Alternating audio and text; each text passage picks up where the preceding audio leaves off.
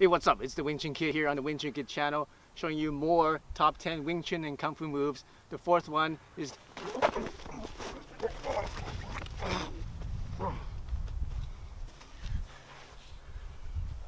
Fourth one is Tiger Claw, all right? Or the C-clamp. We'll show you how to use that in just a second.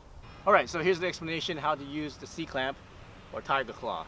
All right, why am I showing this? It's because in Wing Chun, we in the wooden dummy form, we have the Po Pai Jeung. It looks like a far like a fireball from Street Fighter, right? Well, that's the technique. A lot of times people ask, why can you how can you use that? Well, let's just modify it and turn them into claws instead. All right, and you see uh, Hung Kuen and a lot of other styles use this.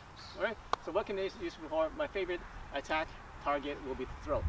Okay, so if you look at the throat here, there's a nice indentation here on this side or this side. So all you do is just grab it and stick your thumb and as if you're reaching into back of the throat. Okay? And he's got a tough neck. He's been, you know, toughening up his neck. And you want to put it right in there, right in this point, where the right beside the uh, uh, right beside the Adam's apple, and just dig it in there. Okay? So you should be able to feel a nice grip. And you actually pull on it like. good. It's good, right? Yeah.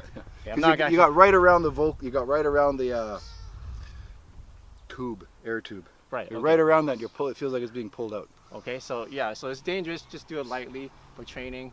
Okay, uh, you can tap right, but you want to get behind the windpipe and actually grip right, grip the whole windpipe with your with your hand.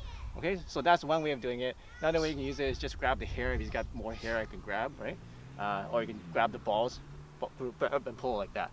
Okay, so those are your ways you can use a tiger claw. What I just showed in the demonstration is um, useful technique, especially if you are um, uh, shielding to get in. He's punching wildly.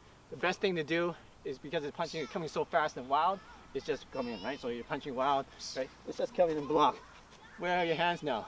Right here in the eyes, right here close to the throat. So perfect time to grab the throat, right? Boom, okay? And it's good to also grab this arm so you can pull on this one and push on the other one. Okay? Sometimes you just push, he's just gonna go, back. backwards, right? Yeah. So it's good to get control of this one. Underarm is be better. Grab this one and push. And then what you want to do is angle it down and push it down. Yeah, That they'll way. go down. Okay? It'll go down, okay? It'll go down. It'll go down. Right? Because nobody wants to push against a, a thumb with your throat. Yeah. It's not comfortable, right? No, not at all. Okay? So you got this here. You got this here. Push in and down. Okay? What you might also want to do is kick out the legs. Like that. Okay? Once he's down, finish him off with a hammer into the nose or to the balls or stomp to the ribs and back off. Alright, so that's the C clamp. Uh, military use this too.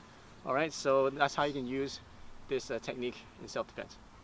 Hey, thanks for watching my video, my top 10 Wing Chun and Kung Fu moves. Some of these moves are not traditional Wing Chun. They're based on Wing Chun principles, and a lot of them are from other Kung Fu styles. So what I've done is just collaborated all of them together and giving you the top 10 of my favorite moves that you can learn uh, right away. It's not too difficult to learn these moves, and they're also practical for real self-defense. Okay, so I hope you like this video. Thanks, Larry, for helping me out. Yeah, thanks. I I appreciate uh, letting you help out. Okay, awesome. So if you're new to this channel, make sure you click the subscribe button and also check out some other lessons here on this channel. All right, so we see you in the next lesson.